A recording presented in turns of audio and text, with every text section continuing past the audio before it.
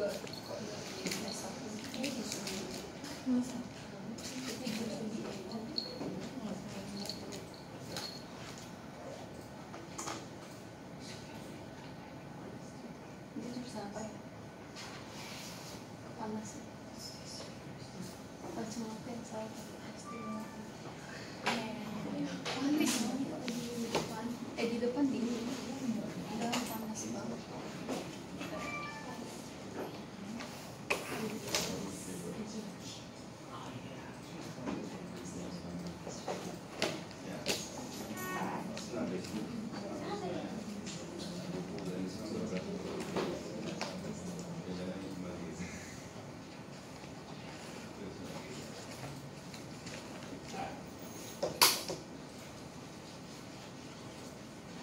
So morning, and we start to talk about the international trade barrier. So keep following. And today I will propose several questions for you. So perhaps we will have two discussions. The first session we will talk about like the should we really need international trade, and also think about like if one company maybe they cannot join this kind of trade, what will happen? And then I will give you more like the different discussion. So. More. Okay. So basically, think about like international trade uh, barrier. I think it's good for like the protect some domestic company to fight with the international famous with the large economic scale company. But key question is for how long and which company should one country really protect? So think about that. So once you really think about this issue, you can go back to look back your home country to see which industry should they really need to take care. For example, like in Hualien, maybe the tourism industry would be the most important, one of the most important industry. What else? Semiconductor maybe. I don't know, automobile or like the um, maybe giant for bicycle or electric bicycle, um, or like the other car sharing system. So even for recently, recently we also talk about like the automation, automation car, automation bus, automation driving, and we also think about maybe next year we will launch a new auto driving bus system around our campus.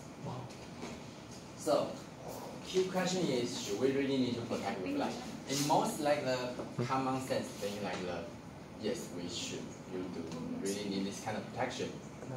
Is that true or not? Here, we, we, I can give you a video and talk about debate, see what's going on. And, okay, so let's, let's do the first video. Episode 34, we saw that the practice of free trade according to comparative advantage meant lower buying prices, higher selling prices, and greater global production, all of which means improved living standards. Do you know how many countries in the world are engaged in trade? Every single one. There's not one country in the world that's completely self-reliant. And do you know how many countries in the world practice completely free trade? None. Not one single country practices trade free of any restrictions. So, if free trade is so fabulous, then why do all countries put restrictions in place? Perhaps it's best to take one step. Okay, so first question, should, I think most of you may learn the economics. So most of the economics may talk about like the two debate. Should we need, really need to do a regulation or not? So one, um, one major trend like talk about we should let the trade go free everywhere. So compete with each other without any regulation and restriction. It's one. Uh, but here in like video told you like the, there is almost any anywhere like, like most of the country will try to put a different regulation, different tax, different tariff, and to to protect the different industries. So this video try to about that. Step backwards and ask, who has the power to put trade restrictions in place? That would be each country's government. Why would the government put such restrictions in place? The government places trade restrictions in order to protect domestic industries from foreign competitors. Now ask yourself this. Which domestic producers would seek such protection? Surely not all of them. Some domestic producers already have a natural advantage in production over the foreign competitors. This is the key. The only domestic producers who would need protection are those who would be driven out of business under free trade, those who have a comparative disadvantage in production. So what arguments could the weak, disadvantaged producers make to the government to convince it to provide protection in the form of trade restrictions? Well, there are several. First, there's the domestic jobs argument. If some type of trade restriction, say a tax or a quota, is placed on incoming foreign goods, then consumers will have to purchase domestic goods instead, right? And if the demand for domestic goods is higher, then the need for workers to produce those goods is higher. Okay, so first debate. Is that true? Let me a little bit back. Have income. So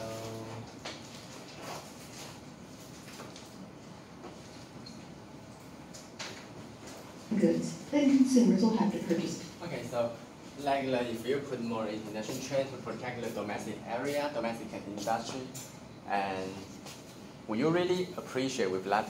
I mean, think about that. Maybe iPhone will be a good example because we have an iPhone 12 will launch nearly soon, and maybe some country will try to put lots of protection. So will you really appreciate with that? You just ignore the iPhone because it's too expensive and try to purchase the domestic brand. You can think about that. Some countries may be fine. So for example, like the South Korea, maybe they will highly support with the Samsung. And for the mainland China, they may support to the Huawei. But different countries may have a different culture. So this may not really work. So this is first debate. Even though you put lots of barrier, maybe still not help. domestic goods instead, right? And if the demand for domestic goods is higher, then the need for workers to produce those goods is higher. Look at the U.S. steel industry. With protections in place, more U.S. steel is purchased and more U.S. steel workers have jobs. The domestic jobs argument is pretty persuasive with politicians because voters with jobs are happy voters. Here's the rub though. While trade barriers mean more jobs in the protected industry, they actually cost jobs in other industries. Think again about the U.S. steel industry. Historically, taxes called tariffs have been imposed on imported steel, so the U.S. producers don't have to compete at such a low price. But this means that steel will cost more to the consumer. Who buys steel? The auto industry, perhaps? Construction firms? Steel drum manufacturers? Any industry that uses steel as a resource will face rising costs, which will lead to decreased supply, which means fewer jobs in all Okay, so this is kind of chain uh, impact. So number one, maybe you protect so they, the, the entire price still there. I mean, the cost is still very high, extremely high. So consumer may not be able to purchase the, the relatively cheaper uh, product. But think about uh, automobile. Later on, we will also talk about the automobile automobile industry. Like the the still the price is very high, so maybe the consumer are willing are not willing to pay for this high price. If you lift this kind of restriction, maybe your consumer, I mean domestic consumer can easily to get very cheaper from international brand. So it's kind of one another debate. So which means the economic will be still slow down. That's the second debate. Of those industries. So while steel workers may have more jobs, workers in all the downstream industries, like auto workers and construction workers, will lose jobs. On net, especially in a country like the United States, where disadvantaged areas tend to be uh, raw materials or low-end materials, this will result in a net loss of jobs. Argument for protection number two, level playing field. The logic here is that the foreign producer has some unfair advantage over the domestic producer, and the trade restriction would just even things up a bit. An unfair advantage might be if, say, the foreign producer was receiving subsidies from its own government, such that costs were reduced and foreign producer's product could be sold. And so far it's true. I mean, for example, like the South Korea, they were highly support with their domestic brand to fight in the international different countries, like the Samsung, like the Kia Motor, like the uh, several, even for the previous maritime industry. So some country will try their best to support their their brand to to in the international field, but some are not. I mean, so not every brand have this kind of subsidies. So this is one question. very cheaply in our market. But what happens if the foreign producer just has an advantage. Are all advantages unfair? In 1997, the collapse of the Thai baht kicked off a wholesale financial collapse in Southeast Asia. As Asian currencies lost most of their value, becoming very cheap, Asian products became cheap. Suddenly, U.S. steel producers were facing extremely cheap Asian steel and went to the U.S. government to seek protection. The question I have is this. Did the Asian producers have an unfair advantage? Did they deliberately plan for their currencies to lose over 90% of their value just so they could sell more steel? The term fair is a slippery thing, somewhat subject to interpretation. The other difficulty here is that one country may dispute the fairness of another's restrictions and retaliate with restrictions of its own, eventually escalating into a trade war. A third argument for trade restrictions is that they can raise additional revenue for the domestic government. A tariff, or tax on imported goods, will generate added dollars, as would revenue from the sale of quota licenses. But in a country like the US, where only a very small percentage of government revenue comes from traded goods, remember we saw in the budget episode about 90% of federal revenues come from income tax, payroll tax, and corporate tax, does it make sense to harm consumers by making imported goods more expensive? The government revenue argument is likely to be more compelling for governments of poor nations where there isn't much income to tax, the only place to squeeze additional revenue is from businesses, especially internationally. A fourth argument used in favor of trade restrictions is the national defense argument. If an industry is critical to the national defense, we should protect it in peacetime to make sure that it's still around in times of war. Some industries may spring to mind immediately as being critical to the national defense. Tanks, guns, munitions, aircraft, shipbuilding. But then what about the metal used in all of these industries? Shouldn't that be protected? What about our food supply or uniforms for our troops? Or the producers who make buttons for the uniforms? You can see where this is headed. It becomes difficult to draw a hard and fast line separating industries that are critical to the national defense from those that are not. This becomes compounded when you realize that in recent years, the argument has been broadened from critical to the national defense to critical to the national interest. For example, some countries have restricted the amount of U.S. entertainment and publications, like movies and magazines, that are allowed in because they feel it would not be in their country's national interest to allow their own cultural identities to be swallowed up by. Okay, it's a little bit longer, but almost finished. And just quickly, they have five debates. So just clearly think like the, later on we have another case need to discuss like the, about a new NAFTA deal. So when you finish this five debate, later on you think about like why Canada and Mexico will allow the United States to sign a new NAFTA deal, and what happened. So just let you think these five debates, and they were related to the following discussions. By U.S. pop culture. The infant industry argument is number five on our list. This says we should protect and support new industries until they're mature enough to compete on their own. I can understand this. In the town where I grew up, there was an economic incubator. If you had an idea for a new business, you could put in a proposal. If you were successful, you'd start up your business in the incubator building, enjoying lower rent and immediate access to business consultants. After a designated period of time, your business would move out and someone else would move in. Here's the drawback with federal support for a new industry. Who is in the best position to know when the industry is ready to leave the nest? the industry is. So if the government goes to the industry and says, hey, you ready yet? Can we take the restrictions away? What's the industry going to say? Sure, go ahead. More likely, the response will be, no, not yet, ask us again in a couple of years. In the past, some countries would protect these infant industries for decades. In the US, at least, the International Trade Commission, or ITC, places time limits on protection and usually weans the industry off by progressively decreasing the level of restrictions over that time period. There is one more method that goes against the natural flow of free trade, but it's less about protecting a weak domestic producer from foreign competition than it is about giving your domestic producer an artificial boost into other countries' markets by subsidizing them so they can take over market share abroad. This method of creating international dominance is, of course, squarely in the arena of unfair advantage, see argument number two, and is really an open invitation for other countries to retaliate against you with restrictions of their own. In this episode, I went over many reasons why a government might agree to protect the economic interests of its domestic producers. Okay, so later uh, even though they have comparative disadvantage might do with restrictions of their own. In more detail, how the government can protect domestic Okay, remember these five because number six is similar to number two. And later on we will talk about a new NAFTA deal. Think about these five. So number one, talk about domestic jobs. Number two, uh, level playing field, they have some subsidies. Number three is government can have a revenue, tax, incur more tax. Number four, maybe national can get some more interest. And number five, they can help develop new industry. Just remember this five. Uh, later on we will be back. I will do this. But now I would like to share something. It's not that new, but keep debate again.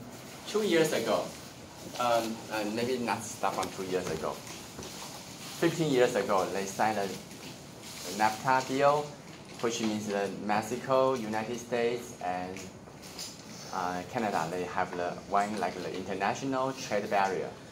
But starting from two years ago, President Trump decided to renew this new deal. And two major industry was being harmed in this new NAFTA deal. One in Canada, you can see the video, another one in Mexico. So then I will ask you, why then Canada and Mexico finally agree with this new deal? What happened if they do not agree? What's going on? I mean, so just let you think about first, and later we will be back. So very soon, this is just one minute, but you can see two kind of the industry has been harmful here. United States reached a NAFTA deal just hours before the midnight deadline as negotiators frantically worked against the clock to come up with an agreement. The new agreement will no longer be called NAFTA. It will be called the United States-Mexico-Canada Agreement, replacing the name. And tonight on a call, senior U.S. officials said that they consider it a major victory for the Trump administration. They also think it's a good deal for Canada and for the United States. Departing his office tonight, Prime Minister Justin Trudeau said he thinks it's a good deal for Canada. We're expecting to hear more from the Canadian government tomorrow about this, but for now, here's what we know about the deal. Canada conceded some on dairy, giving increased access to the market for American farmers. That was the number one demand that President Donald Trump was making. In exchange, Canada gets to keep Chapter 19, the dispute settlement mechanism, something the Canadian government believed was vital. As for those steel and aluminum tariffs, they'll be dealt with in a side agreement. It's unclear exactly how that will unfold, but senior U.S. officials tonight seem confident that it in fact could be resolved. We'll have more details on the deal tomorrow, but obviously huge news here tonight. There is a new NAFTA with a new name with all sides a new victory. Mercedes Stephenson, Global News, Ottawa. Okay, so you see the first industry has been impacted here is dairy industry in Canada. So milk or like a cheese or something will be involved here. This first industry will be impacted in the new NAFTA deal. The second one will be automobile manufacturing industry in Mexico. So let's see what's going on here. Um, this is a little bit interesting video, but you can see what's going on. And also think about the first video, because they also talk about some debates there. So here, okay. It's a 1993 Chevy Suburban, and this is a 2018 Chevy Suburban. The 1993 one cost $21,000 brand new, and the 2018 one costs $47,000. But if we adjust the price for inflation, the 1993 Suburban would cost $42,000 today. Even though the 2018 model comes with modern features like a backup camera, remote engine start, and you know, airbags, the cost hasn't changed much in 25 years. It's not just the Suburban. The average price of new cars has risen only 7% since the early 90s, while the price for almost all other goods has increased by 86%. And that is thanks to NAFTA. The nations of North America are ready strengthened by the explosion of growth and trade to recognize that there is no turning back from the world of today and tomorrow. When the North American Free Trade Agreement took effect in 1994, it was the first major trade deal of its kind. The US, Canada, and Mexico agreed to eliminate tariffs, which are taxes on most imported and exported goods. The countries hoped it would increase investments, and that by strengthening Mexico's economy, it would slow illegal immigration. The trade agreement benefited the auto industry in particular. It allowed automakers to keep costs down, because cars and auto parts could be traded for free. Well, for the most part, if at least 62.5% of a car's parts were sourced from North America, it would be tariff-free. Cars that didn't meet the requirements or were made overseas would be slapped with a 2.5% tariff. NAFTA also gave automakers the ability to source cars where costs were lowest. By comparison, a car made in Mexico costs $1,200 less than one built in the US because labor and parts are cheaper. As an industry, we've kind of performed some economic miracles when it comes to keeping cars affordable by being able to source some of those 30,000 parts from, you know, the least expensive places. Let's take this model of a 2014 Ford Mustang, for example. Its engine was built in the US, but its manual transmission came from Mexico. It's impossible for a consumer to easily find out where each individual part came from, but it's likely that the doors were molded in Canada, the speedometer came from Germany or China, which was assembled in the US, but then sent to Canada to be installed into the dashboard. The seatbelts did come from a company in Japan, but the seats were probably made in Mexico. The tires most likely came from South Korea. In the end, the 2014 Mustang was built in Detroit, but with only 65% of its total parts sourced from North America. It made the tariff cut. And Ford is in no way the only company who does this. About three quarters of the cars sold in the US meet the standards to avoid tariffs, including most cars produced by the top four auto brands. The US is actually producing more cars now than before NAFTA. Same for Mexico and Canada. But you would So this is very important. You see, like after signing the NAFTA, they start to develop develop the automobile industry. Except this, what happened here? Crisis. Yeah, financial crisis global. So you can see from the 2008 to 2010, a little bit shut down, but after that, still back to normal. Mm. But you can see like after signing this new agreement, and this NAFTA agreement on 1994, they do really develop three automobile industry in three different countries. Okay, so this is a benefit so far. but know that if you listen to politicians. NAFTA was a mistake. The single worst trade deal ever made by any country anywhere in the world. Instead of creating jobs, NAFTA cost us jobs. Okay, so it's kind of interesting. Remember the first video? Do they really create the jobs or,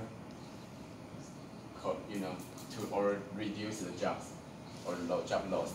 So think about it. Later on, we'll have a debate later.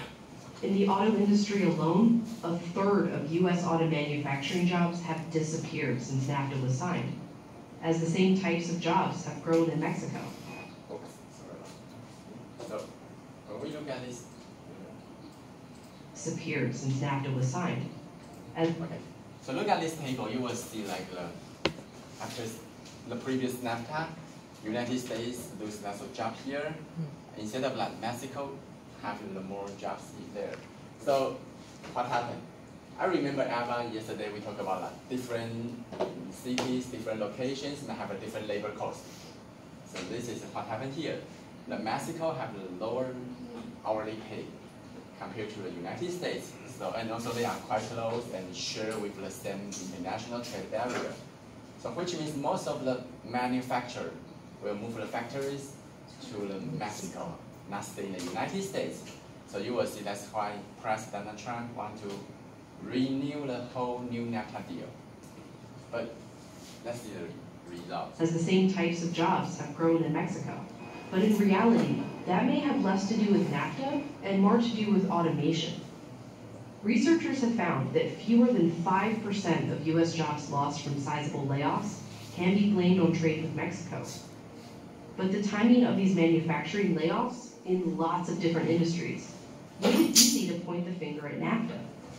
So while most Americans think the trade deal was good for the US, those that feel they were directly affected are passionately against it.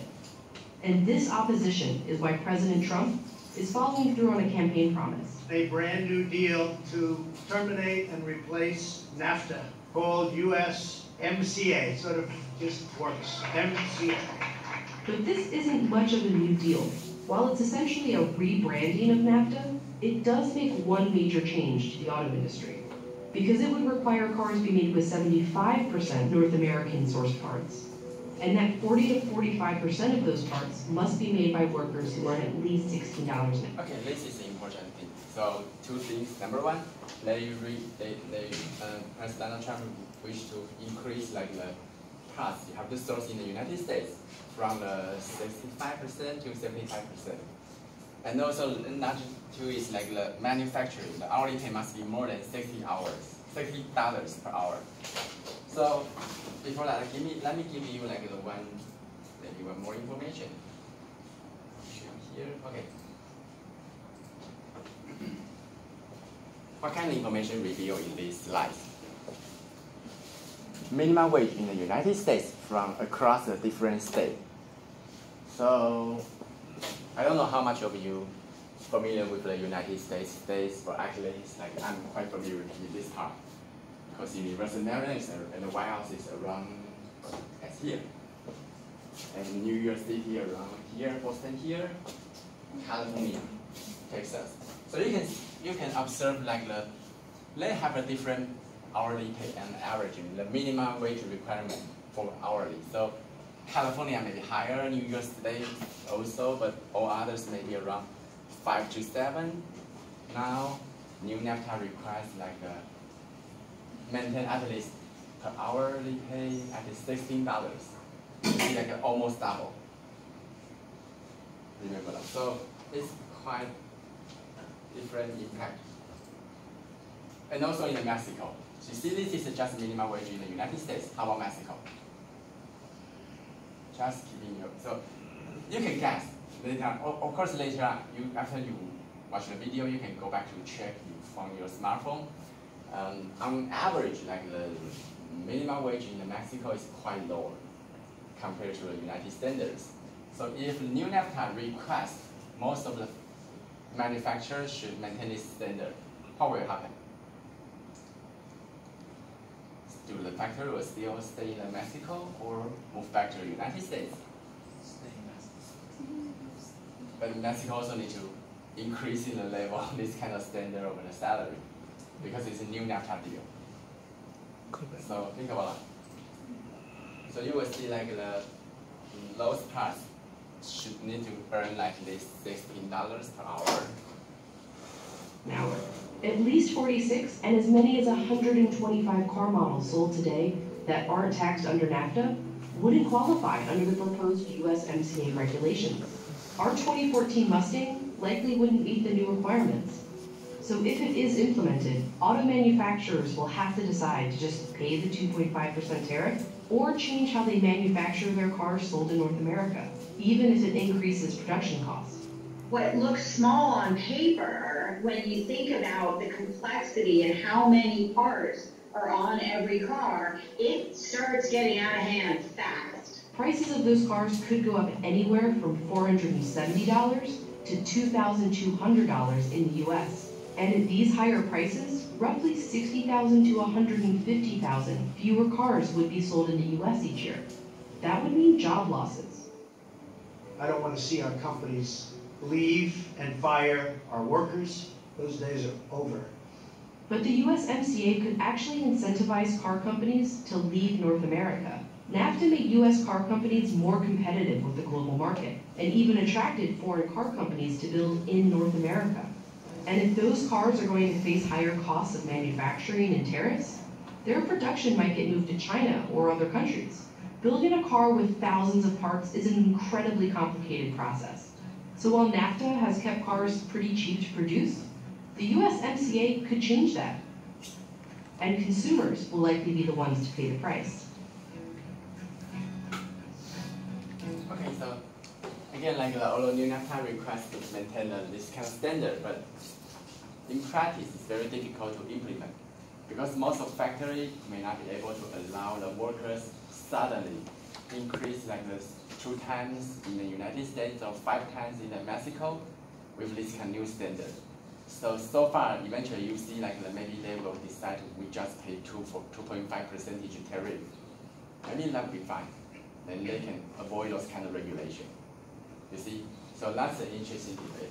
So my question will be, okay, this. Oh, All right, so my question will be relatively difficult today because like the, first of all, I need two groups. One maybe talk about Canada's case, about the dairy industry. Another group will talk about the automobile manufacturing industry in Mexico. And you can Google some information from your smartphone because you may need to, to, to get those kind of information. But my question will be number one, why Canada and Mexico eventually decide to sign a new NAFTA deal? You know, this new NAFTA deal is significantly impact the dairy industry in Canada and automobile manufacturing industry in Mexico, respectively. So why they decide to sign that, sign up? What happened? If they do not support this new NAFTA, what kind of thing will lose? So that's the background information I need to check.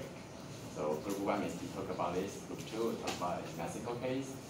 Number two, the video just reveals information here is new NAFTA may be not so powerful. So how will you expect if you try to evaluate this new NAFTA deal? Will you suggest to keep this new NAFTA or back to the NAFTA? Okay, that's two of my questions today.